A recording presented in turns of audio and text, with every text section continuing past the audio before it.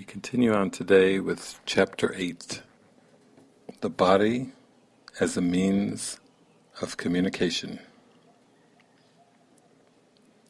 Attack is always physical.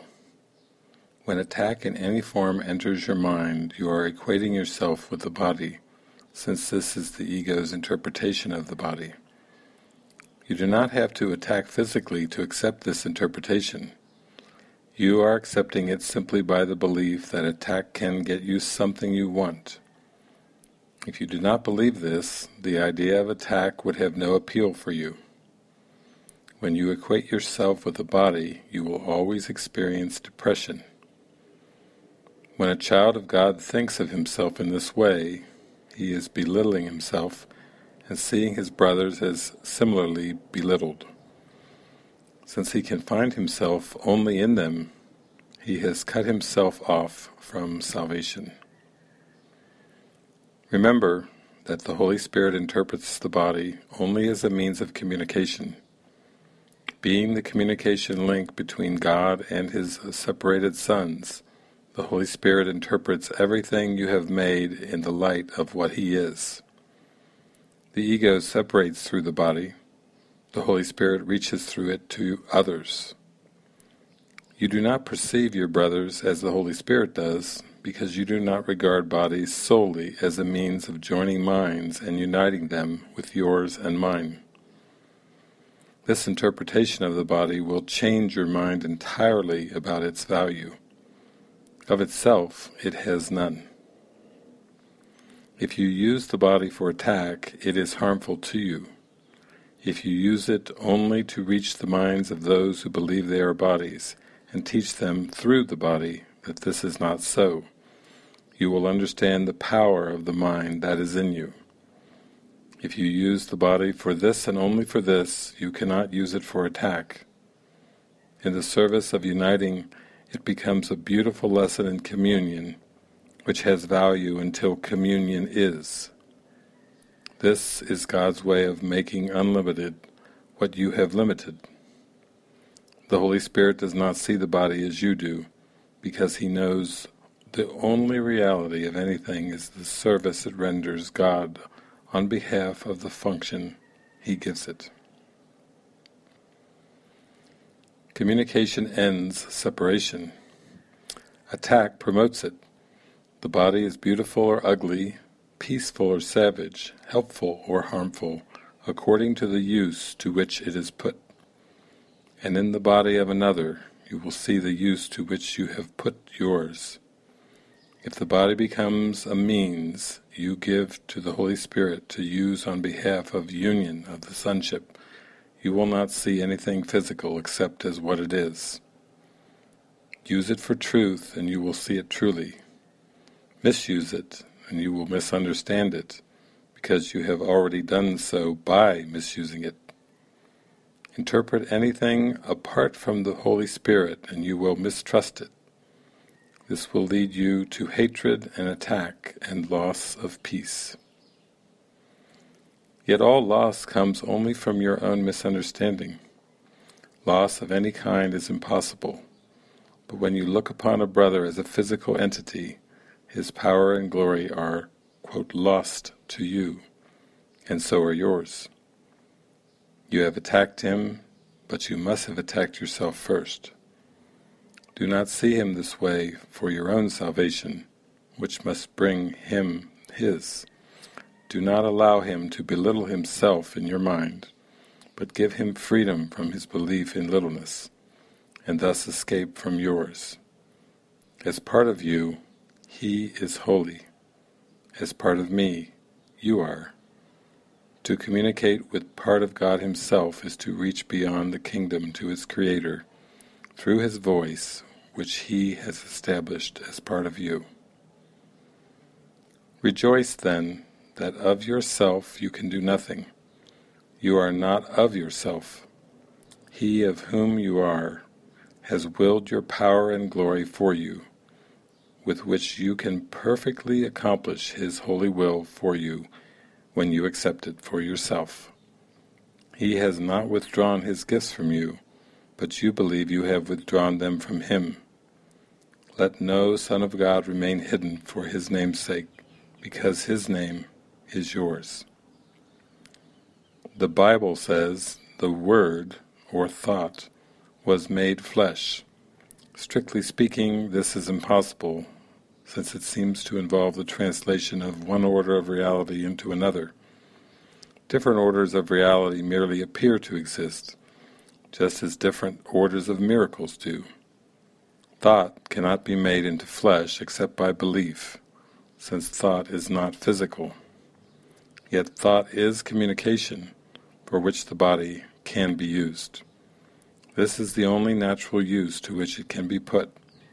To use the body unnaturally is to lose the Holy Spirit's purpose, and thus to confuse the goal of His curriculum. There is nothing so frustrating to a learner as a curriculum he cannot learn. His sense of adequacy suffers, and he must become depressed.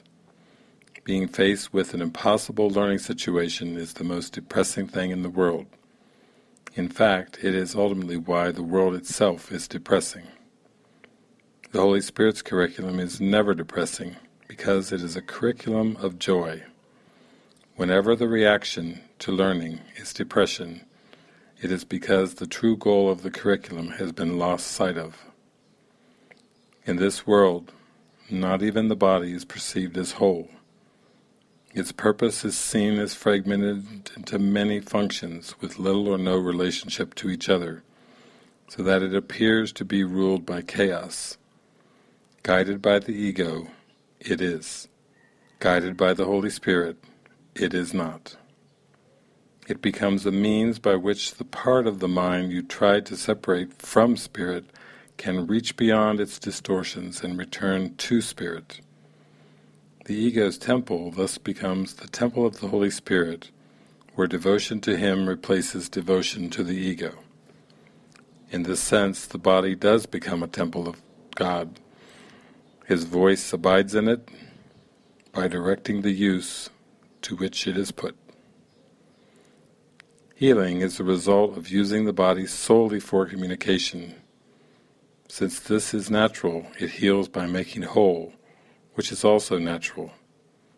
All mind is whole, and the belief that part of it is physical, or not mind, is a fragmented or sick interpretation. Mind cannot be made physical, but it can be made manifest through the physical, if it uses the body to go beyond itself. By reaching out, the mind extends itself. It does not stop at the body, for if it does, it is blocked in its purpose.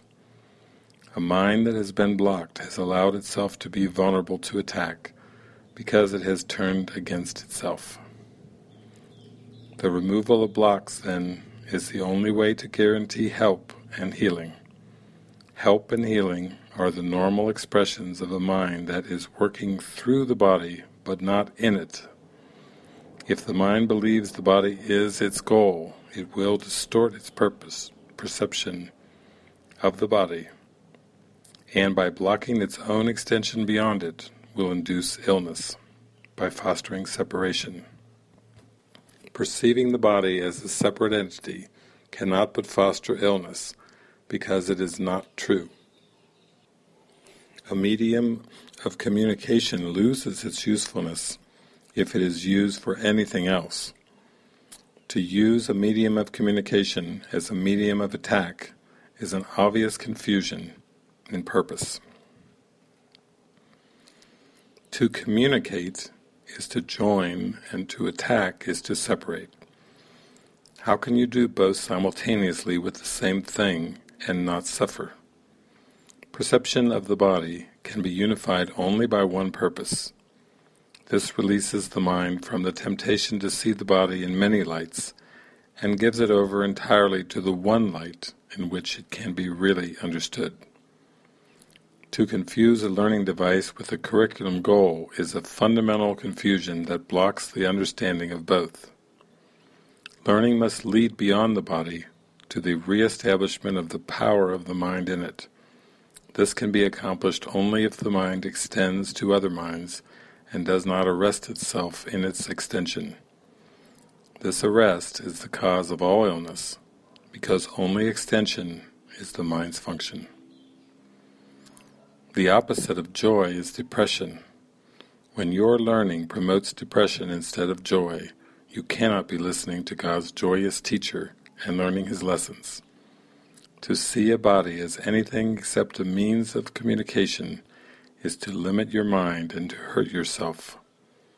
Health is therefore nothing more than united purpose. If the body is brought under the purpose of the mind, it becomes whole because the mind's purpose is one. Attack can only be assumed purpose of the body because apart from the mind the body has no purpose at all. You are not limited by the body, and thought cannot be made flesh. Yet mind can be manifested through the body if it goes beyond it and does not interpret it as limitation. Whenever you see another as limited to or by the body, you are imposing this limit on yourself. Are you willing to accept this when your whole purpose for learning should be to escape from limitations? To conceive of the body as a means of attack and to believe that joy could possibly result is a clear-cut indication of a poor learner. He has accepted a learning goal in obvious contradiction to the unified purpose of the curriculum, and one that is interfering with his ability to accept its purpose as his own. Joy is unified purpose, and unified purpose is only God's. When yours is unified, it is His. Believe you can interfere with His purpose, and you need salvation. You have condemned yourself but condemnation is not of God. Therefore, it is not true. No more are any of its seeming results. When you see a brother as a body, you are condemning him because you have condemned yourself. Yet if all condemnation is unreal, and it must be unreal since it is a form of attack, then it can have no results. Do not allow yourself to suffer from imagined results of what is not true. Free your mind from the belief that this is possible. In its complete impossibility lies your only hope for release. But what other hope would you want? Freedom from illusions lies only in not believing them.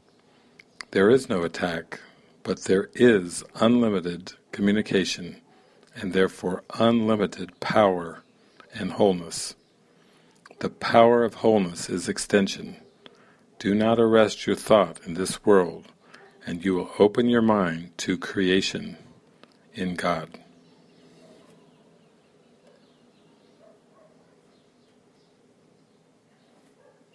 And from the workbook, Lesson 62 Forgiveness is my function as the light of the world.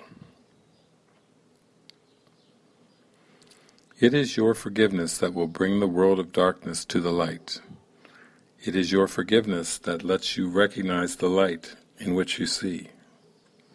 Forgiveness is the demonstration that you are the light of the world.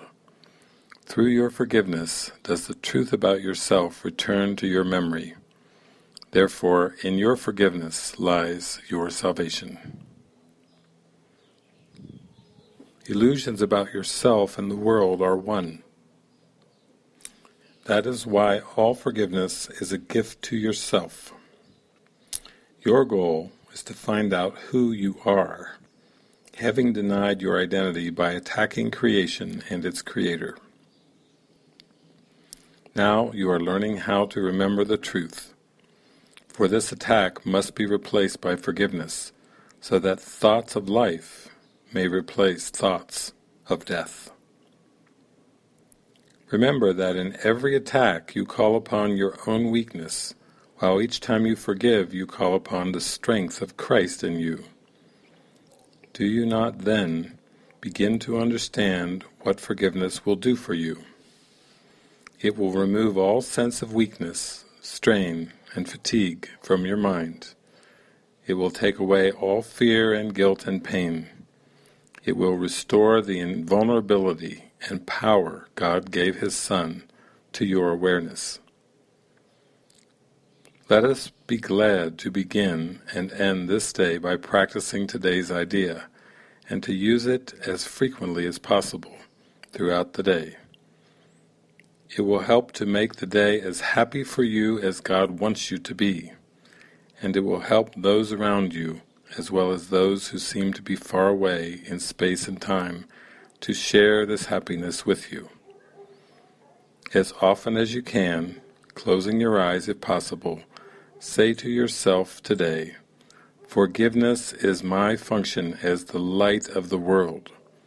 I would fulfill my function that I may be happy.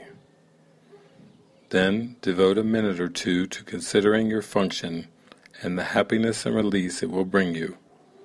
Let related thoughts come freely, for your heart will recognize these words, and in your mind is the awareness they are true.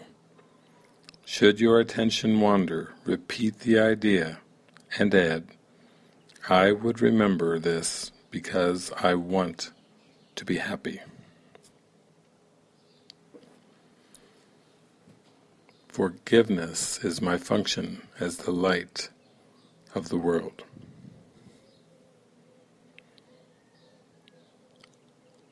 So today's lesson focuses on forgiveness and function. Forgiveness is our function given by the Holy Spirit. Our text reinforces and supports this function by sharing that the body as a means of communication is really all the body is for. the body cannot be forgiven and perceived from the forgiven state of mind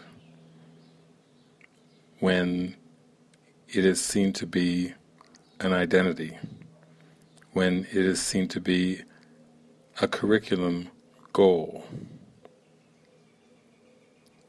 The body is a means for the mind to expand beyond all limits.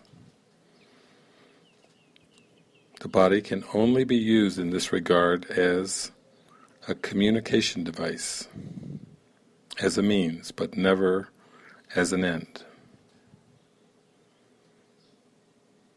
The body cannot be equated with yourself, with any form of attack.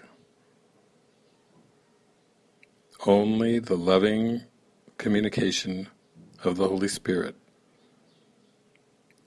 can come through a body that has been given to its function, to its purpose. The Holy Spirit only interprets the body as a means of communication. It has no other purpose.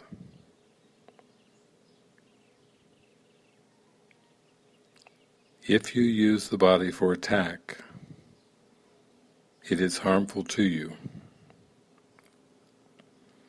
If you use it only to reach the minds of those who believe they're bodies, and teach them through the body that this is not so, you will understand the power of the mind that is in you.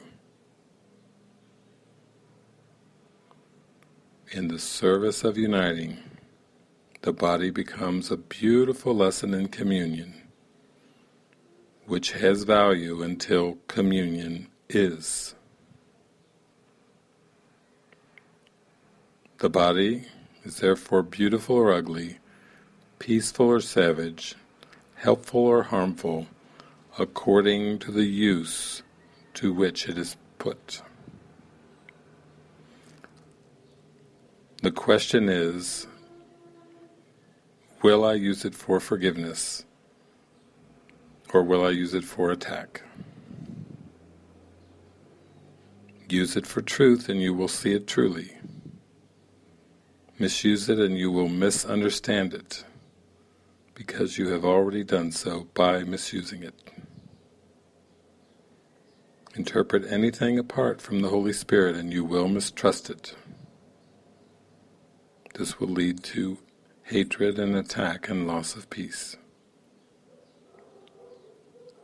But through forgiveness, the body is in alignment with the God-given purpose.